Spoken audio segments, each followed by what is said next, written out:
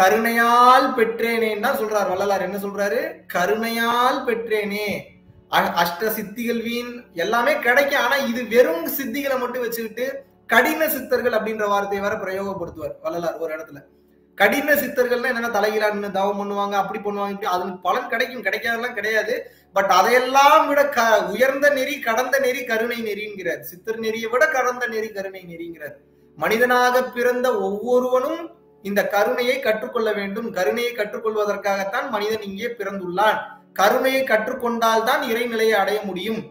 சித்தர் நெறியில போய் இறைநிலையை அடையலாம். ஆனா வந்து பாத்தீங்கன்னா அதை கடந்த நிலை இன்னும் நிறைய இருக்கு. டைமென்ஷன் இன்னும் கடந்த டைமென்ஷன்ஸ் நிறைய இருக்கு. அப்போ வளல் பெருமான் என்ன சொல்றாரு? இன்னும் உயர்ந்த நிலைக்கு போக வேண்டியது இருக்கு.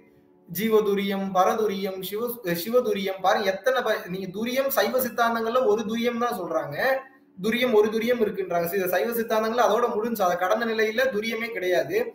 ஆனா அதை கடந்த நிலையில வந்து பாத்தீங்கன்னா இன்னும் நிறைய துரியங்கள் வந்து சொல்றாங்க. எப்படி? ஜீவதுரியம் பரதுரியம் சிவதுரியம். அது பாருங்க துரியத்தை கடந்து மூணு துரியம் சொல்றாங்க. அப்புறம் சு- சுத்த சிவதுரியம் நாலாவது ஒண்ணு சொல்றாங்க. அப்புறம் சுத்த சிவ துரியாதிதம் அஞ்சாவது ஆறாவது அருட்பெருஞ்சோதி நிலைன்றாங்க. அங்கதான் அருட்பெருஞ்சோதி ஆண்டவர் எந்த தன்மையில் இருக்கிறார் என்றால் அருட்பெரும் ஜோதியாக இருக்கிறார். அருளானது பெரும் ஜோதியாக இருக்கிறது. அதுதான் அந்த ஸ்டேட் அடையிறதுக்கு தான் தாய்மானவர் போன்ற உயர்நிலை ஞானிகளே தவம் யோகம் பண்ணி மோட்ச முக்திக்கு போனாலும் கூட இன்னும் அதை கடந்து நிறைய நிலை இருக்குன்னு சொல்லி ஆசை வந்து மறுபடியும் அந்த இடத்துக்கு போறதுன்னா வெறும் ஆன்மாவால அங்க போக முடியாது. ஆன்மா மறுபடியும் எவால்வேட் ஆகணும். அது கொஞ்சம் எவால்வ் ஆகி இன்னும் உயர்ந்த கட்ட பரிணாம வளர்ச்சியில போகணும்னா அதுக்குண்டான கீ பாஸ் என்ன தெரியுங்களா? கருணையின் வடிவமாக அந்த ஆன்மா இருக்க வேண்டும். ஏன்னா அருப்பெருஞ்சோதி ஆண்டவர் கருணையின் வடிவமாகத்தான் இருக்கிறார். சாட்சாத் கருணையின் ரூபம். கருணை பொங்கும். அப்போ அந்த தன்மைக்கு நீங்க மேட்ச் ஆகலைன்னா பக்கத்துல சேர்த்துக்க மாட்டாங்க. அந்த டைமென்ஷன் ஓப்பனே ஆகாது. உள்ளுக்குள்ள உங்களுக்கு பாஸ் கிடையாது. என்ட்ரி டிக்கெட் கிடையாது.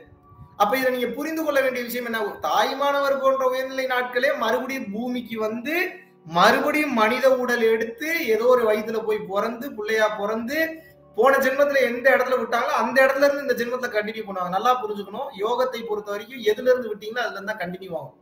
அதுக்கு வந்து மறுபடியும் ரிவர்ஸ்ல போவோம் அப்படின்றது வாய்ப்பே கிடையாது. ஆனா டீகிரேட் ஆகிறதுக்கு எப்போ வாய்ப்பு இருக்குன்னா திமிருத்தனம் அகங்காரம் எல்லா உயிர்களையும் துன்பப்படுத்துறது நான்வெஜ் சாப்பிடுறது இந்த மாதிரி பல உயிர்களை நீங்க காயப்படுத்தும் போது உயர்ந்த கட்ட நிலையை அடைய முடியாது. பல பேருக்கு ஒரு டவுட் இருக்கு. நான்வெஜ் எல்லாம் சாப்பிடுறாங்களே நான்வெஜ் சாப்பிடுறவங்க முக்தி அடைய மாட்டாங்க. முக்தி அடைவாங்க. ஆனா எல்லாருமே முக்தி அடைவாங்களான்னு சொல்ல முடியாது. ஆனால் எல்லா உயிர்களையும் தன் உயிர் போல பாவிக்காமல் எவன் ஒருவனும் நிச்சயமாக அற்பெரும் ஜோதி நிலையை அடையவே முடியாது. மாற்று கருத்தே கிடையாது. அதனாலதான் கருணையை போதிப்பதற்காக வள்ளலார் வந்தார். எல்லாரும் கேக்குறீங்க. அப்புறம் அன்னை தரசா வந்து கருணையா தானே இருந்தாங்க. ஏன் ஒளி உடல் ஆகலைன்னா? அவங்க வந்து பாத்தீங்கன்னா சிக்கன் மட்டன் எல்லாம் சாப்பிட்டுட்டு தான் இருந்தாங்க.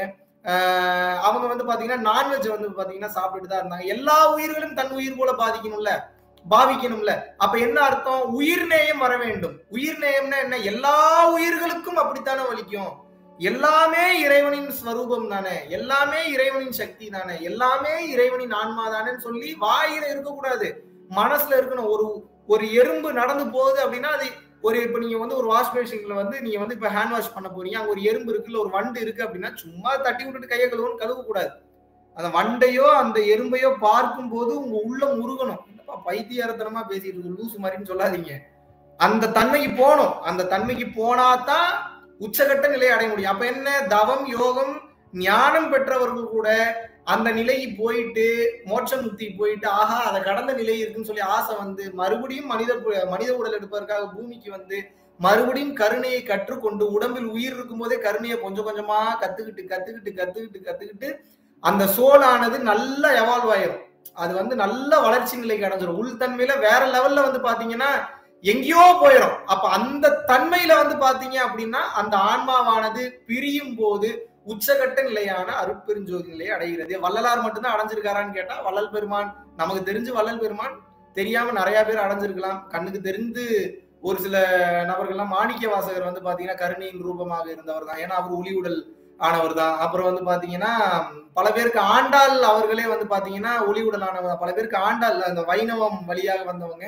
அவங்க வந்து எப்படி வந்து பாத்தீங்கன்னா இந்த நாயன்மார்கள் அப்படின்னு வந்து அஹ், சொல்லுவாங்களோ? அந்த மாதிரி ஆழ்வார்கள் வரிசையில இந்த பெண் ஆண்டாள் வந்து சொல்லுவாங்க. அவங்க வந்து கண்ணாடி தவ பயிற்சி பண்ணி கண்ணாடினா வெறும் கண்ணாடி இல்ல கண் நாடி. பரம்பொருள் யோகம் தீட்சி வாங்கினவங்களுக்கு தெரியும். அந்த கண் நாடியை எப்படி கவனிக்கணும் அப்படின்றத ரொம்ப கிளியரா சொல்லி கொடுத்துருப்பேன் அந்த கண் நாடியை நம்ம கவனிக்க கவனிக்க கவனிக்க கவனிக்க ஒளி உடலாகவே நாம் மாறி விடுவோம் ஸோ அந்த நிலைமை அடைஞ்சிருக்காங்க. அது போக வந்து பாத்தீங்கன்னா நிறைய பேர் அந்த அந்த தன்மை அடைந்தவர்கள் ஏகப்பட்ட பேர் வந்து இருக்காங்க. இதில் நீங்க புரிந்து கொள்ள வேண்டிய விஷயம் என்ன?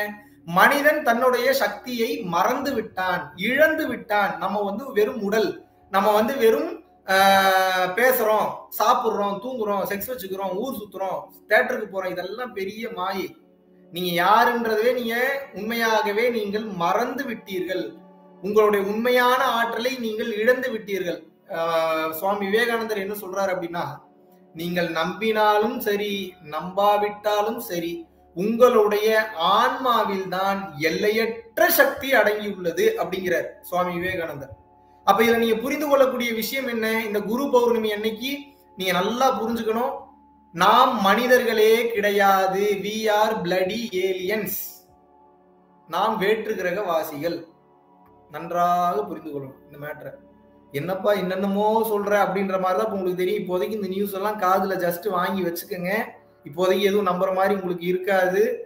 ப்ராப்பரா தீட்சையோ இல்ல பயிற்சியோ செய்யும் போது பக்குவ நிலை கொஞ்சம் கொஞ்சமாக உயர உயர உயர உயர ஞானம் விசாலமாயிட்டே போக போக தான் உங்களுக்கு பல விஷயங்கள் பிடிபடும். அது வரைக்கும் பிடிபடாது. கண்ணுக்கு தெரியறதெல்லாம் உண்மை நீங்க நினைச்சுக்கிட்டு தான் இருப்பீங்க. நான்கு கண்கள் சொல்ல சொல்றாரு வள்ளலார்.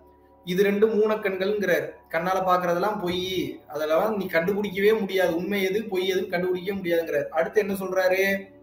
மணக்கண் அப்படின்னு ஒரு ஒரு கண் சொல்றாரு. மணக்கண்ணா என்ன? ஒரு விஷயத்த நினைக்கிறீங்க நினைச்சோன்னே ஒரு விஷயம் விஷுவலா ஓடுது இல்லையா? அந்த கண்ணுக்கு பேர் மணக்கண் அப்படின்னு வந்து சொல்றாரு. அடுத்து நெற்றிக்கண் அல்லது ஞானக்கண் இதை சொல்றாரு. இதுலதான் பார்க்காதெல்லாம் பார்க்க முடியும் உணராததெல்லாம் உணர முடியும். இறைவனின் பெரும் கருணை கொண்டு இறைவனின் அனுகிரகம் பெற்றால் நாம் நிச்சயமாக நெற்றிக்கண்ணை திறக்க முடியும். அதை எப்படி சொல்றாரு? எவ்வித தந்திரத்திலாவது திறந்து கொள் அப்படிங்கிறார். சன்மார்க்கத்துல வளர் பெருமான் என்ன சொல்றாருன்னா நல்லா நீங்க புரிஞ்சுக்கணும். எவ்வித தந்திரத்திலாவது திறந்து எப்படியாவது அதை ஓபன் பண்ணிரு. எங்கேயாவது சுத்தி ஆணியை வச்சு ஓபன் பண்றேன்னு ஓபன் பண்ணிட போறீங்க. அப்படிலாம் ஓபன் பண்ண முடியாது அதை. உணர்வு நிலையில் சரியாக பயிற்சி உபதேசம் வாங்கி பரம்பொருள் யோகம் பண்ணினா நெற்றிக்கண்ணை நிச்சயமாக திறக்க முடியும். அப்படியும் இல்லையா? வேற யாராவது மிக சிறந்த பயிற்சி உங்களுக்கு தெரிஞ்சு இதுதான் வாங்கணும்னு நான் சொல்லல. பரம்பொருள் யோகம் மிக சிறந்த பயிற்சி தான் மிக உச்சக்கட்ட பயிற்சி தான் மாற்று கருத்து இல்லை. ஆனா எல்லாருக்குமே இங்க வர்றதுக்கு சூழ்நிலைகள் ஒத்துழைக்காது. இல்ல மனநிலை ஒத்துழைக்காது. ஒவ்வொருத்தவங்களுக்கும் ஒருத்தருக்கு ரஜினியை பிடிக்கும் ஒருத்தருக்கு கமலை பிடிக்கும் ஒருத்தருக்கு வந்து பாத்தீங்கன்னா விக்ரம பிடிக்கும் ஒருத்தருக்கு வந்து விஷால பிடிக்கும் ஒருத்தருக்கு தனுஷை பிடிக்கும் ஒருத்தருக்கு சாம் ஆண்டர்சனை கூட பிடிக்கும் ஒருத்தருக்கு பவர் ஸ்டார் சீனிவாசனை கூட பிடிக்கும். அவங்க அவங்களுடைய விருப்பத்தை பொறுத்ததுதான். சோ உங்களுக்கு யாரை பிடிச்சிருக்கோ யாருக்கிட்ட போனா தீட்சை வாங்கணும்னு நினைக்கிறேன் அவங்ககிட்ட போய் தீட்சை வாங்கி ஆக மொத்தம் தீட்சை வாங்கியிருக்கேன் தீட்சை வாங்கி பயிற்சி பண்ண ஆரம்பித்து விடுங்கள்.